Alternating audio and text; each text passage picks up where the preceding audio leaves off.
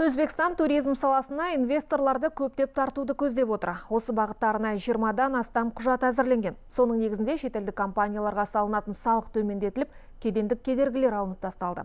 Жер бөліп беру мен оған қажетті құжаттарды рәсімдеу мерзімі де қысқарды. Бұл туралы Ташкентте өтіп жатқан халықаралық туристік инвестициялар форумында Өзбекстан Республикасы премьер-министрдің орынбасары мәлімдеді. Азиз Абдулхаримовтың инвесторлар үшін жасалып жатқан жеңілдіктер жалғаса беретінін атап өтті. Алғаш рет ұйымдастырылып отырған жиынға әлемнің елуге жоқ елінен туризм саласының үздіктері мен сарапшылар қатысты.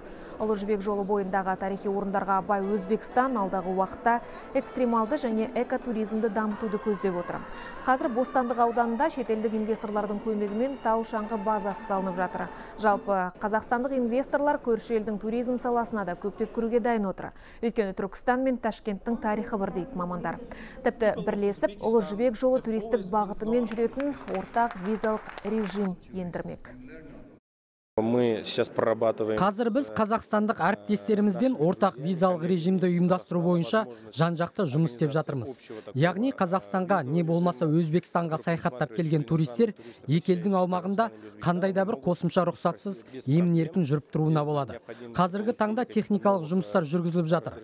Алдағы уақытта Орталық Азиядағы өзге елдермен қатар Ұлы жібек жолы бойындағы мемлекеттерде осы визалық режимге қосылуларына болады.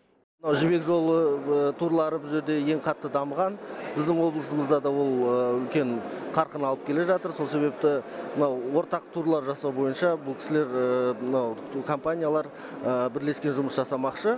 Тағы да бір мәселе біздің компаниялар бұл жерде мына экстремалды тау шаңғы курортын дамытуда және өзбекстан республикасында сервис дамыту бойынша мәселелер тәжірибелер алмасуға келіп отыр.